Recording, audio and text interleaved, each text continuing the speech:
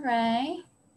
Hi, everyone. Thank you for being here. This is the first, the very first webinar that I do in English. And right now I feel a little bit nervous. Um, and yeah, here we are. We have our beautiful guest, uh, Phương Nguyen. Did I say your name right? Yeah, you're good. I was wondering, is it Phương or Phu or something else, you know? oh, no, Phương is perfect. All right. So um, uh, I think I saw, I never met Phương in person, but uh, I hope one day we will. But I saw you in the group of um, Asian art therapists, and it's an online group uh, created by this um, Japanese American art therapist uh, in Berlin. And I was so, uh, I was so thrilled. I was so happy to see, oh, there's another uh, Vietnamese art therapist out there. And we're super, super happy. And um, so I, I, I, texted you, right? And I said, hey, would you like to connect? And would you like to, uh, yeah, maybe we do um, uh, a live talk um, and introducing our therapy to Vietnamese audience. And uh, thank you for being here, Phương. Oh, thank you for having me. I'm so glad you reached out to me. Um, we were chatting a bit earlier, and I don't really know any other Vietnamese is outside of myself.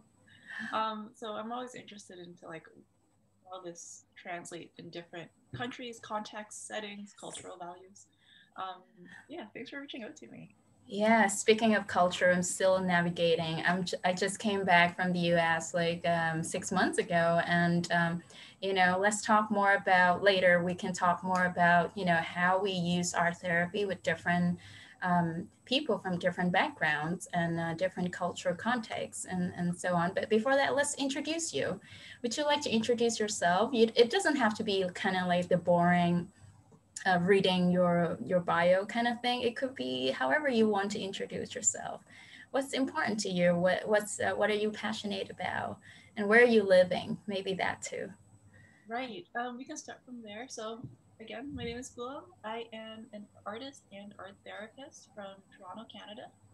Um, and I work with mostly people of color in Canada. Um, and that's kind of where the main scope of my work is. Um, mm-hmm. I was born and raised here. And what else did I do? I just that's that's kind of all I do. a lot of painting, art, and um, reading, I mm-hmm. guess. And I've been really tired of COVID, so mm. I'm looking forward to like the warmer weather, the warmer months here in Canada. It's as you know, it, it gets pretty cold. April is still um, not the warmest month. Yeah. But um, that's what I'm looking forward to right Okay. Thank you so much. Can you hear me okay? Just want to double check. Yeah. Okay, good. Um, yeah, so what, what brought you, uh, where are you in Toronto, uh, in, in Canada? Is, are you in Toronto? Yeah, I'm in Toronto. Oh, okay, um, cool. Not too, just like north of New York, which is where you studied, I believe. Yeah. Actually, I lived in, I, th I think I told Phương earlier that I, I had, um, I spent uh, three months in Toronto in 2016. Um, yeah, and uh, it was super cold. It was from the end of October until, um, say, February. And I remember it was so, so cold. I definitely had some sort of episodes of depression just because it was so cold. Anyway, so yeah, Phương, what uh, what brought you to art therapy? And yeah. Um, yeah. So I I'm sorry that you spent the cold months here. Um, those are the worst months to spend, I think, in Canada. Um, so I guess to start off on how I ended up here, I started off as an artist. I went to mm-hmm. school for drawing and painting at OCAD. Um, and I I made a lot of work about, I guess, identity politics, social justice, mm-hmm. but working within the art world, there was a lot of money involved in it, as expected. I feel like artists do have to make a living and mm-hmm. deserve to make a living. Um, but I wasn't, I didn't feel like I was making the impact that I wanted to make with my artwork. At the end of the day, I still have to sell and worry about the art market and the dealers and the galleries and like also like not really enough time to focus on the art that I was making because of these mm. overhanging um, elements, I guess, in practice. So later on, I had um, a family member of mine experience um, some quite um, difficult. Mm. My family, and I, a lot of like Vietnamese communities in Canada have a really hard time understanding mental health, and um, not only understanding it, but how to how to help, how to talk about it, mm-hmm. um, and it becomes really, really difficult um, to find help in maybe overtly or un, um, unintentionally stigmatizing family mm-hmm. environment. So I got more interested in art therapy um, because I feel I felt like I could make more of a direct impact on my community as a whole. Um, I guess to provide some context, there's quite a bit of trauma that has been passed down through generations through immigrant, refugee, newcomer experiences here in mm-hmm. Canada and Toronto. Um, it's a huge, huge, and beautiful, lovely um, immigrant population. I believe that the majority of people here are um, people of color, so non-European peoples in Toronto. Mm-hmm. Um, and a lot of them are quite new, like recent immigrants. Um, and there's quite a bit of there's uh, a lot of lack of being able to talk about and understand mental health because there are other priorities. A lot of us are kind of worried about surviving, making rent, finding a decent right. job, worrying about our kids, exactly. worrying about our kids' education, and it um, it really does kind of get passed down. Mm. Um, so talking about mental health is not high up on the priority list. Mm-hmm. You yeah. know? um, and that's part of the reason I got into it. Um, I went to go study in Vancouver. So that's on the other side of the country. And I guess to give some context, it's about three hours of time difference, time zones away, maybe oh, five okay. hour flight from here to Vancouver. Um, and I moved over there to study art therapy.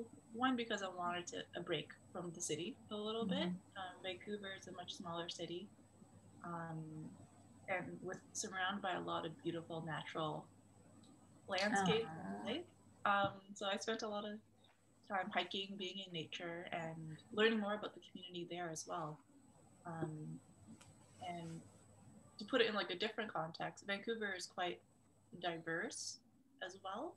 Mm-hmm. Um, it has a big population of um, Chinese immigrants that have been there for over 100 years. Mm-hmm. Um, it has a quite a large indigenous native population to Canada um, and other, um, I believe there's quite a bit of the Indian population as well that dates as far back as settled there as long as the Chinese population did. Um, so that's where I worked. I worked um, in addictions, mm-hmm. and there's uh, an opioid crisis in Vancouver. That's, I believe, it was declared a state of emergency, and this year is the fifth year in a row that mm-hmm. that is still happening. Ah, um, okay. And oh, I learned a lot. It was a lot of like learning on the ground level and hitting the ground running. Um, after my training there, I moved back to Canada. Sorry, I've been in Canada, moved back to Toronto. uh, it just feels like two different worlds. Sometimes. Yeah, it feels like two different countries. So Three hours apart, yeah. Hmm. yeah. So you moved back to um, Toronto. Mm. Where I set up my practice um, and work with mainly, I think, all people of color in my clients, mm. or clients of color, clients who are people of color. Um, yeah, this is what Oh, wow! Oh my gosh, there's you mentioned you mentioned a lot of uh, keywords that I was so like excited to to unpack with you and and ask you more questions. We talk about what like transgenerational trauma and then stigmas and and um, um, yeah, addiction and the practice of art therapy um, with uh, clients of, of colors. And um, yeah, I would like to to ask you maybe um, let's let's talk a little bit about the transgenerational trauma that you mentioned. Um, can you help us understand a little bit more? Um, I think the audience, many many people may not be familiar with that term, and yeah, can, uh, what what does it mean to you? Yeah, um, mm. I guess uh, for I always like to start simple because that's how I understand things. Yeah, um, let's do that. that is passed down from generation to generation. Mm-hmm. Um, there are some biological factors. There's a lot of like social economic um, factors as well. Mm-hmm. Um, so, for example, um, a person who might have been a, a, refugee from another country moving to a place like Toronto, Canada, there's quite a few protective behaviors mm-hmm. that get that is learned and passed on um, something like hoarding is one of them. Mm-hmm. Um, I once worked with a man who lost everything. Uh. And he um, started hoarding, so holding on to everything. Every every plastic bag, every, mm. every, like anything he's ever come to own in his possession, he kept. Um, and that kind of passes on to his he passes on to his kids right. because this is something that learned from their parents. Um, the, the anxiety of through and losing things. Um, so I guess that's that's one example that came to mind first. Um, yeah. Of course, it manifests in different ways. Mm-hmm. Um, but yeah, yeah, there's a, quite a bit of that um, here, and I think that contributes to the stigma of speaking about mental health. Yeah, um, right. Yeah. Mm. Let, let's let's let's dive deeper into that. What what do you have? What have you noticed personally and and professionally? Um, what is blocking people, especially Asian people in um, North America, to or in, I mean, I guess um, you never live in, in Asia, so you probably can't speak for for Asian people in in the whole Asia, but um, yeah, what do you think the stigmas are uh, for Asian people when it comes to seeking mental health uh, support? And um, yeah, hmm, I'm kind of curious to know more. Me too. It's always something to, to learn. Um, the two that come to mind, we talked about generational trauma and how that gets passed down, and um, how talking about one's personal issues and personal mental well being might be quite difficult for someone of Asian descent in North America because them, if they're recent immigrants themselves or their parents, have other priorities to focus on. Um, how can I worry about how I'm feeling if I'm looking like I'm concerned about the next meal, or I'm worried about rent, or or my parents are worried about this and that. Um, so a lot of people take the responsibility and burden on themselves to kind of protect the people around us from our own feelings. Um, I don't want my parents to worry that I'm feeling this way, or I don't want them to know that I'm struggling because they have so much to worry about already. Um, and also, there's this, um, I feel like the model minority myth plays a big factor. And what that is, is it is the, the stereotype, the prejudice that Asian or peoples of Asian descent, um, specific are hardworking. They have their life together. They um, don't make. Um, there are no. Uh, they don't make like big. Um, You're not trouble. Yeah. yeah, yeah, they're good. They're good workers, and that's and um, they're smart and they they don't struggle. Um, so that prejudice, that stereotype is quite harmful because at some point you learn to believe it and you learn to internalize that. Um, I'm not supposed to be struggling. My like people like me don't struggle. And when you believe some of that, you internalize some of that, like it's it quite it becomes quite difficult to even talk about struggle. Or maybe the fact that, oh, like I'm having a hard time. Or I'm having a hard time also like academically, like in school. I feel like that becomes a focus of quite a bit of anxiety for um, young people of Asian descent here. Yeah, and um, I like the way you use the words internalize, right? When we don't see, when we internalize the stereotypes that are imposed on us, and it's not even our choice to to have that kind of um, to submit to those stereotypes, and also the the fact that we don't we grow up and we don't see a lot of people who look like us, who talk about struggles, right?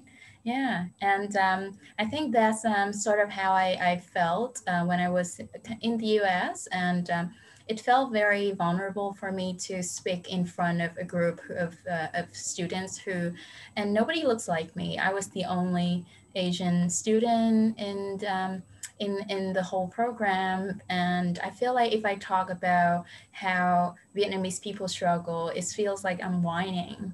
And um, yeah that fear of oh i'm taking so much space here and is it okay? Right? It's so normal if i have like a caucasian friend who talks about the struggles that she goes through but for me it's just so not normal and uh, i wonder where that comes from all right quite a few factors the answer is always complicated yeah, it is. It's just, it's, yeah, I yeah, I agree with you. It's always very complicated. And um, so, how did you? What do you think the the cost the cost is, um, or you know, the impacts of um, um, of Asians grew Asians uh, distance in North America when um, you know they always kind of have to or people in general right? When they have to like hold on to um, that beliefs that oh uh, I should not share it I should not uh, whine or I should not talk about uh, what's uh, what I'm struggling with. And uh, I have to kind of hold on to this independent image who's very capable of taking care of myself. So what, what are the costs of that? Oh, sorry, um, I'm gonna speak louder. Is this is this better? Yeah, sounds great. Okay. um, I, my voice is quite low. It is pretty quiet. Um, could you repeat the question? I got a bit distracted yeah what what is what is the cost um, you know what's the what are the impacts when somebody kind of have to hold on to that image of oh the um, you know powerful me the independent me i don't need to ask for help. I should not ask for help. I should not take space. I should not express my struggles. Hmm. it's a bit dehumanizing isn't it? To um, not allow ourselves to have help um, or to accept help or to ask for help. Um, and that's kind of the big thing when we feel stigmatized and when we stigmatize ourselves, um, we are keeping ourselves from reaching out for asking for help and for keeping ourselves from growing and being better. Um, and not only that, but that kind of, uh, depending on who we are, that might set a bad example for generations after us to not reach out for help and not to feel and be better. Um, sometimes when we prioritize other people's feelings about ourselves over our own feelings about ourselves, um, we kind of forget that we're someone worth caring about if that makes sense it's a bit of um, so it's it's quite important to but also like I, I recognize that we don't all live in supportive communities yeah. um, that are willing to hear us out and not willing to, to help us but willing to be allies mm-hmm. um, rather than us asking for help and receiving it i feel like that's a very transactional and a, there's an imbalance of power there um, but looking but to, not everyone has like a supportive community to really um, walk with us to to feel to get better to be better mm-hmm. um, that being said depending on your circumstances talking about yourself and your own mental health might not always be the safest thing to do um, so uh, it's really important for everyone to kind of like evaluate who where who their support system are and is there space for this here? And if not, how else can I learn to seek help? Mm. Um, it really is about seeing ourselves as someone worth caring about and what and practicing that mm-hmm.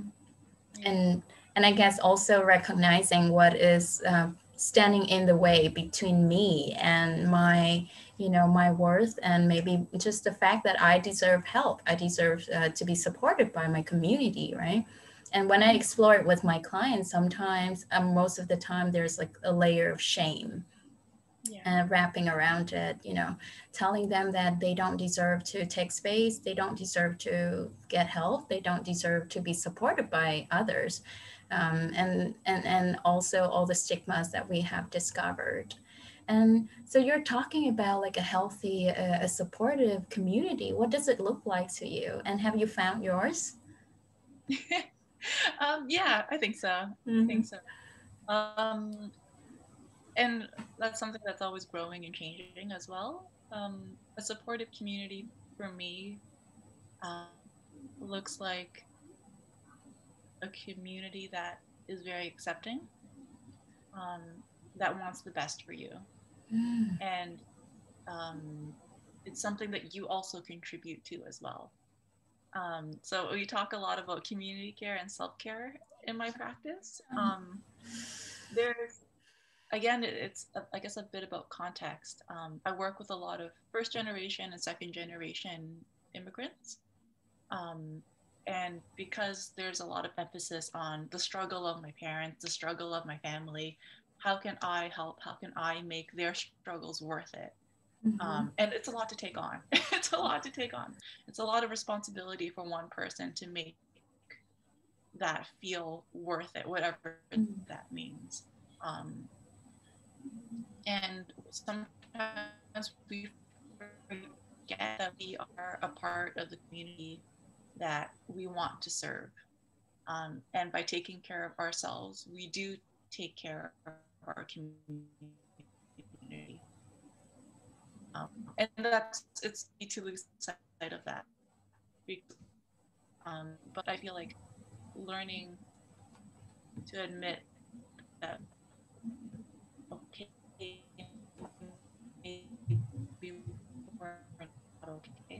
is a really good step towards okay maybe i help. A part of a whole. Is quite empowering sometimes. Um, uh-oh. Okay. Oh can you hear me okay? I think my internet is a little bit uh, uh,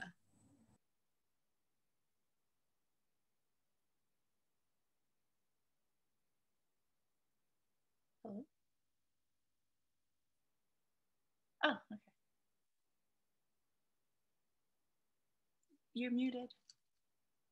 Oh, sorry, my internet was um, a little bit funny today. And yeah, but I heard you talking about uh, when we take care of ourselves, we're also taking care of our community. Uh, I mean, I think the past year, the past two years when I was in the US, I learned that concept. I, but it was like so weird. It was for somebody who was 28 years old, like me, who came to the US. And it was the first time I realized that it is okay to take care of myself. and I went through, you know, a, a, um, a period of rage and anger because why didn't why didn't anybody tell me this? right? Why didn't anybody tell me I was worth it? Like, where's the, uh, the self care that I can provide myself? So, what do you think about that? Um, you know, the idea of, of self care. What what does that mean to you? And is it is it like going to spa or you know putting on uh, like a mask, um, a cool mask at the end of the day, or yeah, what is it? What what else about self care? What's yeah, beyond it? as nice as that as that sounds, um, I don't know about um, you guys overseas, but here, like self care has been really commodified and mm-hmm. capitalized on. Um, uh, a lot of people are trying to sell like self-care items mm. um, like taking a bubble bath or taking like the mask or a spa day or whatever that means but i again like to I simple as the way I understand it. Um, it is taking care of yourself, whatever that might mean. And sometimes that means doing the dishes the night before some because you'll regret it in the morning. And taking care of your future self is really important as taking care of your present self as well. Um, sometimes that means cleaning the house because you deserve to live in a clean space. Sometimes that means eating better because your body deserves a bit more love than than what you're currently eating. Um, it doesn't always mean like taking a luxurious hedonist kind of day off, even though maybe that's what, again, maybe that is what you need, but it doesn't all, is not always what you need. Um, sometimes self care is doing the hard thing mm-hmm. because sometimes the hard thing is what's actually the loving thing for you. Like, like asking for help, right? Uh, getting support. Like, yeah. yeah, exactly. The hardest um, thing in the world. Oh my gosh, yeah. Oh yeah, for sure. Mm, um, mm. before I started the art therapy program, I don't, I don't know what was wrong with me, but I came in thinking, oh, I'm fine. it wasn't that way at all. Like three months in, it's like, no, I'm not fine. Um, and that's just kind of like part of the process, I think. Um, getting over that kind of like strange delusion of like, no, you're mm. not okay. I guess I guess we needed that, you know, that kind of narrative or that um, uh, false uh, or illusional strength. Yeah, but it helps it cope uh, for so many years, right? Including myself. I do remember, um, you know, crying in my trauma class. Oh my gosh, I was traumatized. It's so funny now talking about it. But yeah, I feel a lot. Um, I'm very appreciative of uh, the, that program, the art therapy program that I went through. It was so life changing. It was mm-hmm. super hard.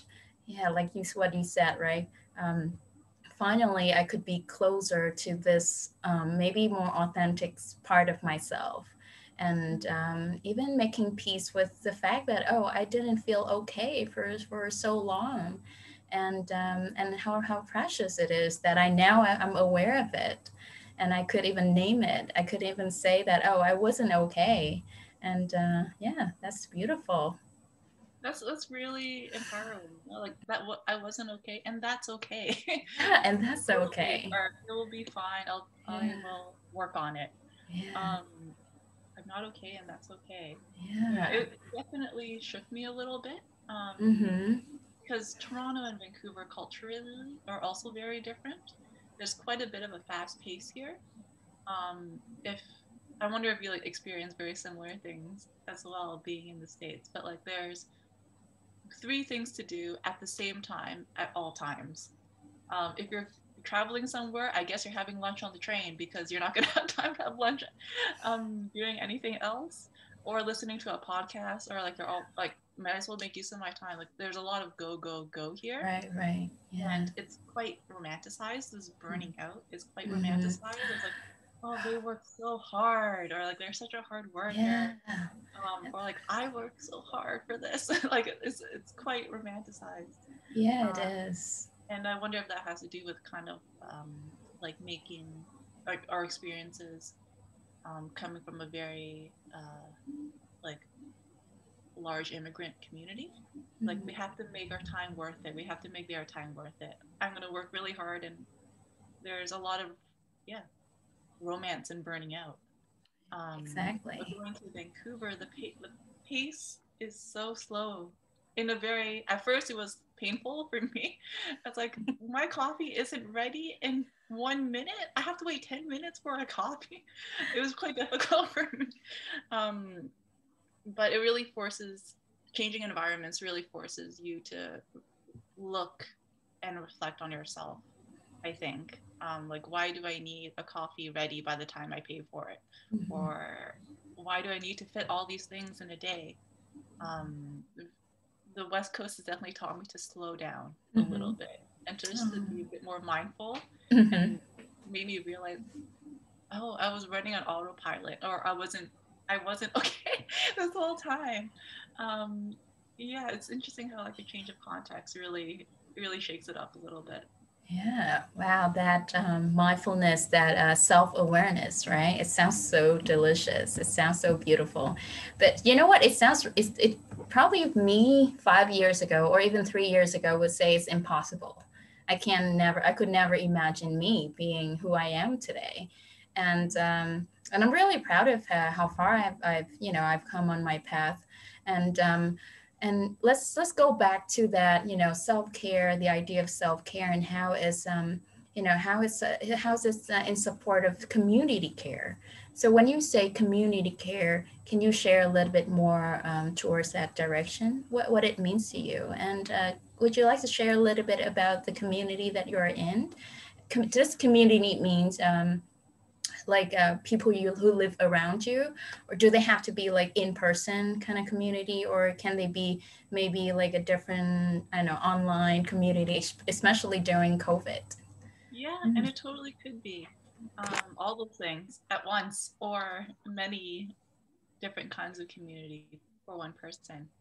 Um, when I talk about community care, I, I, talk a bit about it one on the individual level, mm-hmm. um, which sounds a bit counterintuitive, but really about like self care as community care, um, taking care of yourself because you are a part of a larger community, um, and that kind of really focuses on that, but also community care in terms of yes, recognizing you're a part of this community. How can you contribute as well um, beyond caring about yourself, which is important.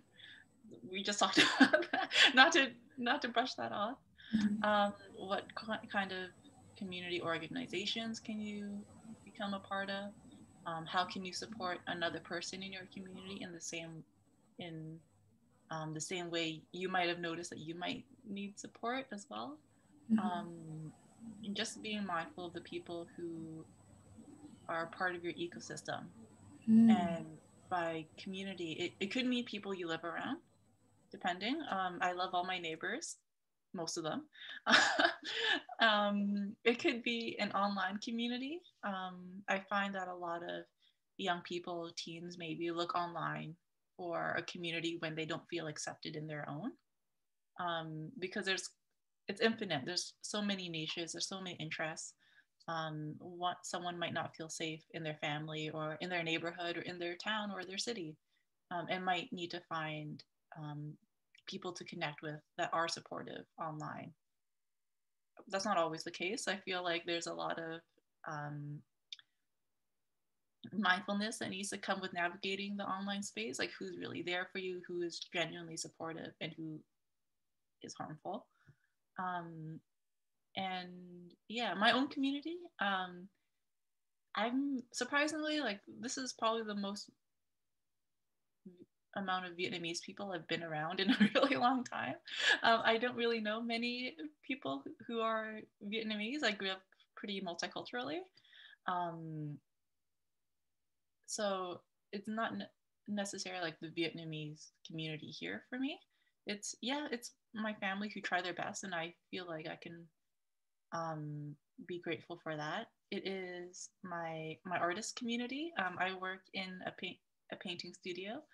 Um, so I have, or maybe not right now because of COVID, but I have my friends who are artists, who are practicing artists, um, to paint around and to work around, get input from, get be supported by. Um, and I have my friends who are from different parts of the country. So that's, we connect online. So it's a lot of friendship for me. It's been a big part of my community, um, as well as like um, participating in um, communities that are outside of my geographical location um, Toronto's home to quite a few pockets of um, culture. There's two. There's a Chinatown, Koreatown, Little Tibet, Little India, um, Little Portugal, Italy, Greek town. There's like any a lot of a lot of different um, um, pockets of different heritage and ethnicities. Um, and I've been, I guess, lucky enough to be able to to pop in on some communities and to learn more about it. Um, so it's something that's always kind of growing and expanding. Um, I recently did a workshop for, um, there's a neighborhood in Toronto called the Jane Finch community. Um, and it is probably um, one that has been struggling economically, social economically. Um, I believe it's one of the most violent neighborhoods in the city, which isn't might not be a lot for um, like American standards, but for Canadian standards, it's it can be quite um, rough. Um, but that was that's where I was born and raised. So I was recently reached out to participate um, at the Jane Finch Community Center um, and to contribute that way as an adult, which is kind of full circle for me. That was a really great moment that I hold pretty close to me. Um, yeah. I feel like I rambled a little bit. yeah, it's um, okay. It's, it's, it sounds really interesting. And thank you for sharing about your some of your communities. It sounds like you're very resourceful and um, it's, it's, you're still like branching out, you're still building your other communities. And um, I think that's a very interesting concept as well. And I do notice how that has um, been, um, you know, maybe not the trend, but what I have observed in um, among the Vietnamese audience, the Vietnamese um, young generation that I'm serving. And I do notice how people are also like building their own communities and not just uh, having their own friendships, uh, friend circles, or relying on family support. And uh, that's really wonderful. And I myself, that's what I, I think that's what I love about New York when I was there is that you could find literally every like support group for anything. And it was so cool it was so cool they were so resourceful. And um, you know groups happened almost like every day. You could just go to different groups uh, different finding your own communities of people. And um, yeah that i think that's one of the things i really like about new york city um, finding your own tribe finding you know yoga people finding meditations or um, you know zen uh, buddhism uh, practice group and yeah it was so wonderful uh, when i was in new york um, and I also like how you kind of said Amer- according to American standard. It's like and uh, uh and Canadian standards. That's so cool. That's funny. okay. wow, I have so many things I would like to know, but uh, I want to make sure that people have space so they can ask a few questions. If you guys have any questions, please just uh, type it in the chat box. I think um, uh, for now, I would love to maybe ask Phuong to just share one of her art practices or as a self-care, um, you know, tool for people to take away. And uh, yeah, is there anything you would like to share with people? Um, yeah, I have um, some things with me. I got two notebooks. Awesome. Okay. Um, one is a journal. So journaling has been a big part of my self-care kind of process routine. Um, and I write it by hand, which is kind of important for someone like me because I feel like my my thoughts are racing whenever I'm in like a certain mindset that I'm struggling with. So writing things by hand really forces me to to slow down and to be mindful and careful of the words that I'm choosing. Um, a part of me is like have has to do with like efficiency, which isn't like the greatest thing. Um, to to choose like the right words for what I mean to say. Um, and I don't do it on the regular. I do it on an as need basis, but I feel like quite a lot of people benefit who benefit from having a steady routine. Um, this is a great way to like check in with yourself in the morning or set intentions for the morning or to decompress and process what's happened at the end of the day.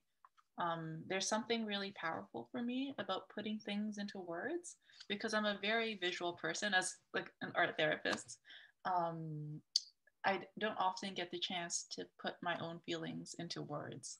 Uh, so that's very that, that's been very helpful for uh, helpful for me. Um, and I also brought my sketchbook. I think as a practicing artist, it's kind of important to have an ongoing one. Um, but in terms of wellness and mental health and art therapy, um, I will encourage one as well. Um, it's full of things that I collect over time, um, some quotes, um, and just things that might have interested me um, that you might flip through collages, drawings, practice paintings, things like that. it's and um, idea development as well. But what I like about this in terms of wellness is that um, it gives you some time to, or it gives you a place to look back on old pages, old drawings, old whatever, and um, forces you to take some time and look at it in a way that it's kind of like self research or arts based self research, I guess. Um, it's like what I have this thing here. What what was I thinking back then, or what was going on in my life that I was drawing this insanely depressing drawing, or like, oh hey, look at all these colors. That was a great time in my life, or like, um, what was going on with me at that moment, and hopefully provide some insight as to where you are now. Um, I call it research, but it's very because of like the casual nature of it. It it is very organic um, in the way that it grows and the way that it changes. Mm-hmm. Yeah. I think I learned. Sorry, I'm interrupting. I think I learned a, a really great word. It's called me search.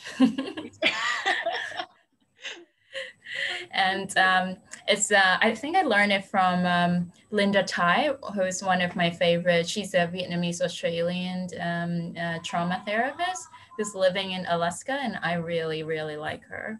And um, yeah, she encourages people to do the me search and yeah, researching on yourself. And thank you so much for sharing. Um, so weird. Um, I really love journaling as well, and I, I, I resonate with what you shared. Um, at first, at the beginning of my uh, say healing journey or more like going inward journey i journal every day twice a day but slowly i think i'm used to i got used to like sitting with my thoughts and i don't need to like journal every you know every times i observe something. And so i think slowly i have that um, you know built up that muscles the ability to to sit with and observe and not like just act, like react instantly. And uh, that was wonderful. And now I, I also journal whenever i feel the need to the need to maybe like organize some thoughts or um, just observing the words that i choose and um, yeah sketchbook is really amazing as well and I, yeah i was so like oh my god your sketchbook is so organized and, and pretty oh, I, I always felt the opposite um it's always i feel like it's just very like I, messy for for me but i'm a pretty chaotic person okay. in general so. okay jo- join my club all right hmm. um it's so it's so um you know relieving like um admitting that you're a chaotic person uh, on the internet as a therapist. Yeah, we're not all organized and you know figure it all out like what society thinks. Yeah, for sure. We're for human. Sure. Exactly. And let's spend the last 15 minutes um, on Q&A. Is there anything you would like to ask Phương about, or is there anything you would like to learn more about Phương? Or you can just simply share. Um, have you enjoyed, um, you know, the conversations? Um, yeah, feel free to ask questions, everyone. All right.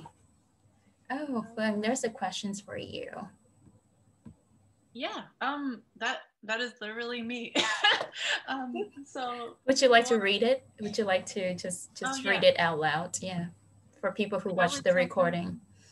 How would someone who hasn't journaled since childhood get started again? Thank you for the reminder. Um, that was that is me.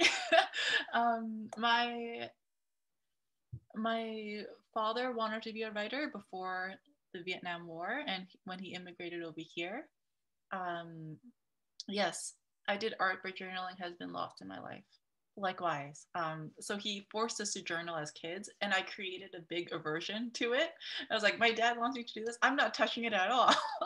um, so journaling was a bit um, hard for me to get into, um, mostly because it was at a time where it was difficult for me to accept and understand my own thoughts and feelings. But as an adult, um, getting into it again, I just, how I started was more freeform. It was just like, there's something going on with me today. I'm just to write down how I'm feeling and eventually like get to the core of the issue. Um, no expectations, no um, writing standard um, and just um, to have the goal be about self understanding rather than like quality of writing or um, legibility, even. I would say it's um, as an adult, maybe start small if that's scary. If it's scary to get into it, um, maybe start off with a sentence or like, I'm not, or today I'm feeling sad, and then see where that goes, or and elaborate on that. Or, yeah, I would if it feels big, and I feel like this is a good way to approach a lot of things that might feel big or anxiety producing, is to start small, and if that still feels too big, like start smaller yeah. I love that. Takes baby, baby, baby steps, right? Mm. Yeah. The point is to care for yourself, not to threaten yourself or, or overwhelm yourself, I guess. Hmm. Okay. I think sometimes we can feel guilty about the outcome if it looks like we dumped our feelings on it. Right, hmm, right. What do you think? That's actually something interesting to get into as well. Um, and our, the journal doesn't have any feelings if that makes sense you can say like the most heinous things in here and it's not going to judge you yeah um yeah for sure for sure i i hope mm. um for journaling i guess it's important to set some time aside for it and there can be some a lot of like guilt and shame about setting time aside for your own feelings as well um but i guess the big thing is to just just to start small. Um, mm. And it's totally okay to dump your feelings into it. It has no feeling. It has no judgment. Yes. I guess it's better than not really better, but better than doing it on somebody who didn't ask for it, right? Who's not ready, yeah. uh, or yeah, to take in our yeah, feelings. sure. Thank you for the for the question and for um, wonderful questions. Thank you and that is um, yeah one of my really really good friends so um, anyway we have a second one. Can you share with me how to be an art therapist? Great questions. I just graduated the major in psychology and i have some interest in art. I want to know more about your experience in art therapy. Can you tell us the thing you appreciate most about your study? Wow. Congratulations. This is so great. Congratulations on graduating and finishing your major. Um, that's pretty big. So that's good for you. Um, how to be an art therapist. So it might be different depending on what country you're in. Um, in Canada, you can, um, there's a few master's programs and there's a few diploma programs. Um, both of them are um, give you certification to, to work as an art therapist. Um, we have a governing body here called the Canadian Art Therapy Association. Um, and they have a list of training programs that um, that they oversee and consider like the standard for art therapy education. So I think that's important to look into that where you are. Um, my experience in art therapy. Did you mean my ex- experience in the art therapy program, or however you understand it? yeah. Um, yeah. Um, my experience in in the art therapy program and in like getting into like the art therapy world and things like that has been pretty transformative. Um yeah okay. So it was admittedly quite difficult for me in the beginning um getting in getting myself started in the art therapy program. One because i was delusional and i thought i was fine.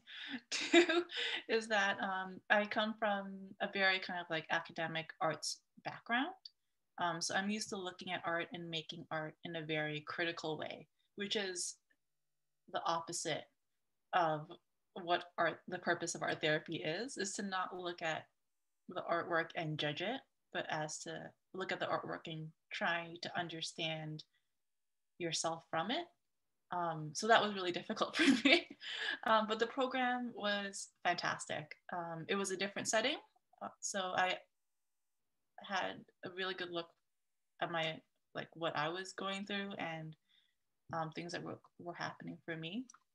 But also, um, it helped me learn looking look at art in a different sort of way, in a very different context.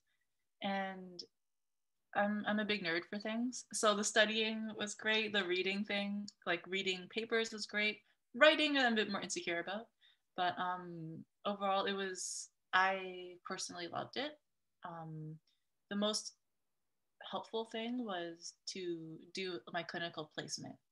Um, there's a so much learning you do on like on the ground level, working with clients um, as a student and being open to different demographics and populations and people has was probably the biggest part of my art therapy training and how this kind of shaped my practice. Um, yeah, I hope that answers your question. Okay, thank you so much. Uh, that's another great questions. We have the last one. Uh, I mean, the second last one. I, I think we have enough time for one more. Uh, would you like me to read the uh, the message, or would you like to do that? Um, yeah, I can. I can read it. Um, so, mm -hmm. the, so this one comes from Mac. I have social, I have social anxiety, and whenever I'm in Vietnam or abroad, I'm always reserved and very careful of accepting someone steps into my life like in a more close relationship. That's why I don't find any community right now, and that's kind of for me or belong to. And sometimes I feel lost. Even when mm-hmm. there were some groups of people, they actually did open up and welcome me to join their communities, but anxiety still holds me back. So, do you have any advice on how to cope with anxieties, which mostly oneself creates? In this case, thank you for your question. I feel like it's one, it's great that you know yourself in this way. And I, I feel like understanding kind of how you feel and noticing things as they happen or being able to reflect on what's happened in this way has is a really good place to start. So you're off you're off to a good start. Um, social anxieties is so difficult um, to get into because it's scary. It's really scary. A lot of anxieties come from a place of fear um, and I guess what I would suggest um, is to look to a community that you know is safe. You might not be able to be in it just yet, but um, that is welcoming and safe. And again, like the journaling, start really small. Um, because sometimes the fear and this and like the anxiety of the fear is bigger than the thing itself. Um, but if from the information that you've given me, I, I would encourage you to start really small, like really, really small, and then move from there without, um, and that's kind of something that I would say because I, I, I don't know you and I don't know the specifics of your situation. Um, but yeah, that would be, that would be the move for, for me to start small. Mm. Yeah, thank you for your question and sharing your, you know, very personal story here. Um, I hope, yeah, I hope there is somebody who can support you during this as well. Maybe a professional, an art therapist, or, you know, maybe, um, yeah, maybe a, a mental health professionals like a counselor. Um, I used to work with uh, a clients, a few clients who had um, social anxieties and um, they had very severe trauma uh, before they develop anxiety. And, and anxiety is like, uh, I feel like it's a, it's a way we cope with the world. It's the way that the body, you know, copes with what's happening. And um, yeah, after working for like nine months or a year together, um, some people feel safer in the relationship with the with the therapist, and then they could actually go out there and um, bring in their own communities. So I guess sometimes it's uh, it takes time, and um, yeah, and it's okay. And you know, feeling safe is is uh, it takes time. Mm. Anyway, so um, I think um, I would like to um, welcome one more questions before we close the circle today. If anybody else has a questions. How are you feeling, Phương? I just want to check in with oh, you quickly. I'm good. I was nervous in the beginning as well. Mm. Um, mm. But yeah, I'm good. All right. How's everyone else in the circle? Um, how's your, your, what's your energy level right now between say zero and 10? Zero is like you're very tired your your your energy level is really low and 10 is is very high So I would say um, around uh, 7 is um, 9 p.m. in Vietnam right now. What time is it at, at yours? 10. I'm not Okay. a morning person, Yeah. so I'm gonna give myself a good seven Mm. as well. Thank you for for making this happen, even though you're not a morning Oh, person. it's one of those things like I should, I should, Mm. I should, but I felt like this was good encouragement to wake up early. So thank you for inviting me. Mm. All right. So um, we have another questions that um, somebody sent in from um, the uh, registration form, and um, I think this is a really wonderful question. Um, how can I overcome my self doubts and fear of judgments from other people to follow what I really want? I lost my confidence over time, and then my self care. Mm. Yeah. That's that's a big one. That's a big question. Yeah. Um, And I like I like how they pointed out, you know, they lost their confidence over time and then they lose their self-care. yeah, Yeah. definitely tied. Um, I would say start with some compassion. I think for yourself, um, and losing, I guess, confidence and losing um, self care as as a consequence of Mhm. that is quite interesting because I feel like some of these things inform each other. Um, we talked about self care as um, also a way of loving yourself and being kind to yourself and compassionate towards yourself. Um, and starting from there, I hope I would hope that you would learn to love yourself more and be more confident from there. Um, Mhm. and our behaviors inform our thoughts and our attitudes and our feelings quite often. So if it's it's hard to convince yourself to be confident, but it's um, especially when it seems so daunting and you have something to compare it to. But it's maybe we can start off by um, doing smaller self care gestures.